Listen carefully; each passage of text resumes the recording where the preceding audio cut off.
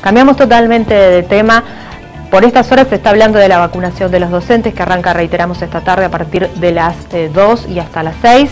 Eh, pero también se está hablando de la vuelta a la presencialidad y de algunos casos que han generado mucha preocupación y alerta en Córdoba, donde se han tenido que suspender el funcionamiento de las burbujas a raíz de casos positivos de COVID y también en Corrientes. Ante esta situación la pregunta es, ¿los protocolos actuales eh, sirven, no sirven? Está bien eh, que los chicos tengan jornadas eh, de clases eh, durante un tiempo largo. ¿Qué pasa con la, posibilidad de que el virus se esparza dentro del aula? De este tema vamos a hablar con Ernesto Kaufman, eres científico del CONICET. Ernesto, ¿cómo estás? Buen día.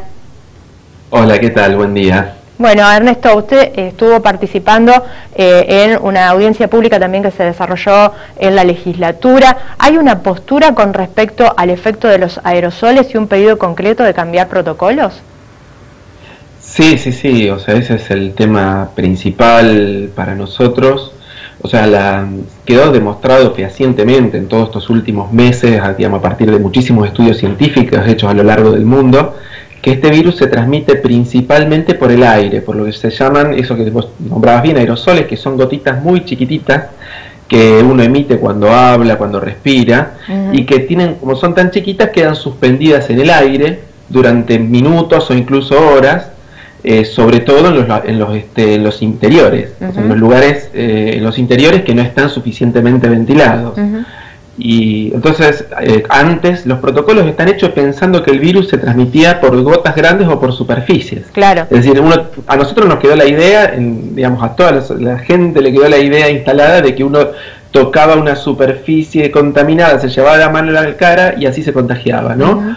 Y eso es, muy improbable, ya se demostró que es muy improbable que eso pueda pasar. ¿Por qué es improbable, Ernesto? ¿Por qué es improbable? O por lo menos eh, no el riesgo no es tan alto porque es muy, o sea, a ver, el, al menos el 80% de los contagios ocurren por la otra vía, o sea, es mucho más probable respirar una gotita suspendida o muchas gotitas suspendidas que directamente entran en, el, en las vías respiratorias, eso es muchísimo más posible contagiarse así que a, que a través de un medio tan indirecto como que una, o sea, tiene que caer una gota en un lugar, uno después tiene que tocar la gota en ese lugar, tiene que tocar justo en ese lugar, después justo llevarse la mano a la cara y justo tiene que sobrevivir todo ese tiempo el virus, lo cual no está probado que pueda pasar.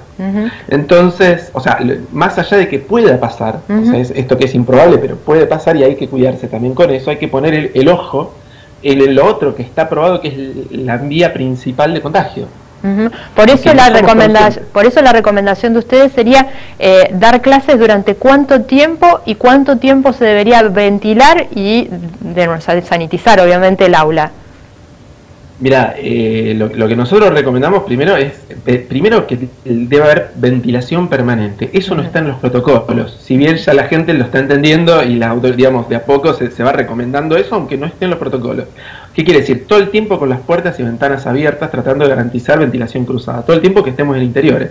Y si es posible, todo lo que pueda hacerse afuera, que se haga afuera. Y después, evitar estadías prolongadas.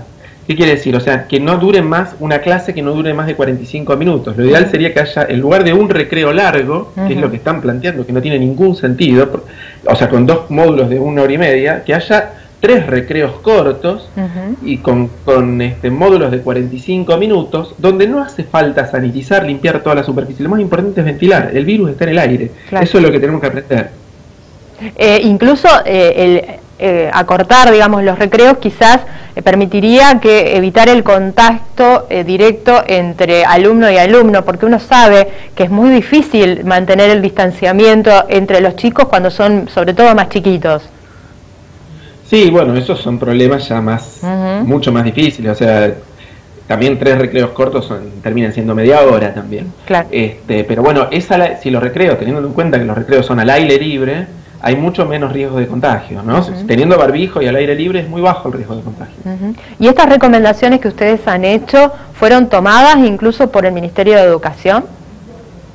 No, no hemos tenido contacto todavía. No, o sea, nosotros pedimos una audiencia hace ya un tiempo este, a la ministra de Educación y no, no tuvimos todavía respuesta. No, O sea, no, no, ha sido tomado, por lo menos eh, no nos contestaron, quizás lo están tomando y no, no nos enteramos. La recomendación entonces es Eh, el, pregunto, ventilador, sí dentro del aula con las ventanas abiertas puede ser para tratar de, favorecer la, circulación? Sí, o sea, de hecho lo ideal sería, por ejemplo, tener un ventilador apuntando hacia afuera, hacia la, mm, o desde afuera hacia adentro, este, o sea, cualquier cosa que, que ayude a renovar el aire. O sea, lo que importa es que entre aire del exterior y, que salga aire del interior, o sea, que hace una circulación que permita ventilar. Un ventilador de techo incluso ayuda a, que, si están las ventanas abiertas, obviamente, todo, digamos, todo movimiento de aire con ventanas abiertas ayuda a la circulación. Eh, Ernesto, te aprovechamos para, para consultarte porque también eh, ustedes hacen en el sur de la provincia lo mismo que aquí eh, se hace en Santa Fe con esta curva de contagios. ¿Cómo estamos en el panorama con respecto a los contagios a nivel, eh, bueno, provincia? ¿Venimos bien o, todavía podemos estar comprometidos? Eh, bueno, digamos, el tema es así. Venimos o venimos bien porque vienen cuando que estaban descendiendo los casos. Yo eh, Rosario posiblemente ahora ya da la impresión de que está dejando de descender, lo cual es una mala señal.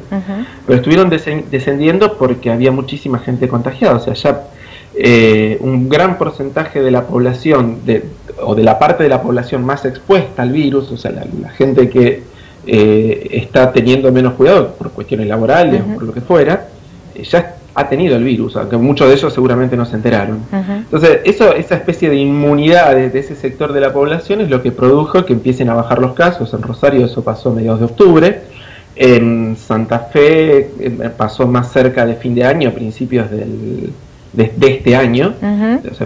y este el, el, tema es que eso, esa, esa inmunidad es un poco frágil, o sea, primero porque se aumenta el contacto social, empiezan nuevamente a subir los casos, es lo que pasó después, después de la fiesta, eh, pero también puede pasar que esa inmunidad se empiece a perder, esa inmunidad, este, ¿por qué? Porque no sabemos cuánto dura la inmunidad de una persona que cursó la enfermedad, y también puede pasar lo peor que creo que es el escenario más este, pesimista que podría pasar es que ingrese una nueva cepa, como por ejemplo la cepa de Brasil, esta del Amazonas, que es la que, es la que está en este momento circulando mucho en Brasil, ante la cual esta inmunidad adquirida eh, no sirve de, mucho. O sea, la, gente que ya tuvo el virus y se, eh, se puede contagiar fácilmente de esta nueva cepa, aparentemente por lo que dicen los estudios. No, incluso eh, sin esta nueva cepa hubo casos eh, donde eh, personas han tenido en más de una oportunidad COVID con la cepa que está circulando en el país. Sí, sí, sí, pero eso de todas formas son casos como puntuales, o sea, estadísticamente no son tantos. o, sea, la, gran mayoría de la gente que, se, que tuvo el virus eh, no lo volvió a tener. O sea, si no, no hubieran bajado los casos de la manera que bajaron. El, pero bueno, de todas formas es, importante eh, o sea, tener muchísimo cuidado. Esto no terminó ni mucho menos. Y ahora, cuando hablaba de aumento del contacto social, eh, una, un factor determinante para este aumento del contacto social es, la vuelta a, la presencialidad en las escuelas. Seguro.